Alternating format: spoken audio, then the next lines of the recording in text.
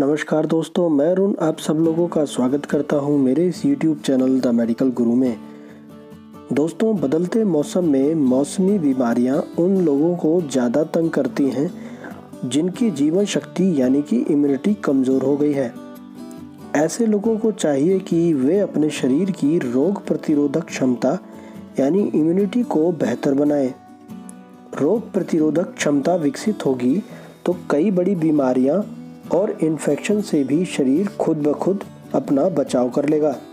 ज़िंदा लोगों में रोग प्रतिरोधक तंत्र, यानी कि इम्यून सिस्टम नाम का एक ऐसा मैकेनिज्म होता है, जो इन बैक्टीरिया वायरस और माइक्रोब्स को शरीर से दूर रखता है। इंसान के मरते ही उसका इम्यून सिस्टम भी खत्म हो जाता है और शरीर पर हमला करने की ताक में बैठे माइक्रोब्स बॉडी को अपनी गिरफ्त में ले लेते हैं। यानी हमारे शरीर के भीतर एक प्रोटेक्शन मैकेनिज्म है, जो शरीर की तमाम रोगों से सुरक्षा करता है। इसे ही शरीर की रोग प्रतिरोधक क्षमता कहते हैं। आइए जानते हैं डिफेंस मैकेनिज्म यानी कि प्रतिरोधक तंत्र इम्यून सिस्टम कैसे काम करता है। वातावरण में मौजूद तमाम बैक्टीरिया और वायरस को हम लगातार सांस के ज़रिए अंदर लेते रहते हैं, लेकिन ये बैक्टीरिया हमें नुकसान इसलिए नहीं पहुँचा पाते क्योंकि हमारा प्रतिरोधक तंत्र यानी इम्यून सिस्टम इनसे हर समय लड़ते हुए इन्हें हराता रहता है। कई बार जब इन बाहरी कीटाणुओं की ताकत बढ़ जाती है तो ये शरीर के प्रतिरोधक तंत्र को भेज जाते हैं। नतीजन कई मौसमी बीमारियाँ हमें घेर लेती हैं। सर्दी, जुकाम इस बात का संकेत है कि आपका प्रतिरोधक तंत्र कीटाणुओं को रोक पाने में नाकामयाब हो गया है। कुछ दिन में आप ठीक हो जाते हैं। इसका मतलब यह है कि तंत्र ने फिर से ज़ोर लगाया और कीटाणुओं को हरा दिया। अगर प्रतिरोधक तंत्र ने दोबारा ज़ोर ना लगाया होता तो इंसान को जुकाम, सर्दी से कभी राहत ही नहीं मिलती। ज़्यादातर लोगों में बीमारियों की मुख्य वजह वायरल और बैक्टीरियल इन्फेक्शन होता है, जिनकी वजह से खांसी, जुकाम से लेकर खसरा, मलेरिया जैसे रोग हो सकते हैं। इन इन्फेक्शन से शरीर की रक्षा करने का काम ही करता है इम्यून सिस्टम आइए जान लेते हैं वो कौन कौन सी चीज़ें हैं जिन्हें खाने से आप अपनी इम्यून सिस्टम यानी प्रतिरोधक क्षमता को बढ़ा सकते हैं।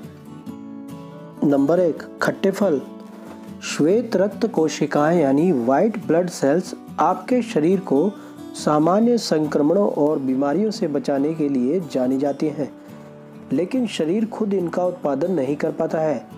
विटामिन सी को सफ़ेद रक्त कोशिकाओं के उत्पादन को बढ़ाने के लिए कारगर माना जाता है। विटामिन सी का सेवन बढ़ाने के लिए रोज़ाना खट्टे फल जैसे संतरे और अंगूर का सेवन करें। यह नेचुरल तरीका आपकी इम्यूनिटी बढ़ाने में मदद करेगा। नंबर दो, ब्रोकली। हरे रंग की सब्ज़ी में vitamin A, vitamin C, vitamin E और बहुत सारे फाइबर होते हैं। यह एंटीऑक्सीडेंट यौगिकों में भी समृद्ध होती है। ये सभी गुण ब्रोकली को प्रतिरक्षा बढ़ाने के लिए एक महान भोजन बनाते हैं। अगर आप भी नेचुरल तरीके से इम्यूनिटी पावर बढ़ाना चाहते हैं तो रोज़ाना ब्रोकली का सेवन करें। नंबर तीन, लहसुन। लहसुन कई स्वास्थ्य लाभ प्रदान करने के लिए जानी जाती है। लहसुन बीपी को प्रतिबंधित करने, यानी कि कंट्रोल करने और धमनियों को सख्त होने से रोकने में मदद कर सकती है। लहसुन को पहले से ही फ्लू और इन्फेक्शन से लड़ने के लिए इस्तेमाल किया जाता रहा है। आप भी लहसुन का सेवन कर नेचुरल तरीके से इम्यून सिस्टम को बेहतर कर सकते हैं। नंबर चार, अदरक। अदरक में पाए जाने वाला एक यौगिक खांसी, गले में खराश और सूजन वाली बीमारियों से लड़ने में प्रभावी माना जाता है। अदरक कोलेस्ट्रॉल के स्तर को कम करने और स्थिर करने में भी मदद कर सकता है। ऐसे इम्यूनिटी बढ़ाने के लिए अदरक का सेवन करने से बिल्कुल भी ना चुकें। नंबर पाँच, हल्दी। हल्दी का उपयोग सदियों से सूजन और संक्रमण से लड़ने के लिए उपचारात्मक प्रयोगों में किया जाता रहा है। प्राचीन दवाएँ साबित करती रही हैं कि हल्दी, जिसमें कक्रीमिन यौगिक की उच्च मात्रा होती है, एंटीऑक्सीडेंट में भी समृद्ध होती है। हल्दी हृदय रोगों, कैंसर और अल्जाइमर के रोग को रोकने में भी मदद कर सकती है। रोकथाम इलाज से बेहतर है। हम सभी ने इसे कई बार सुना है।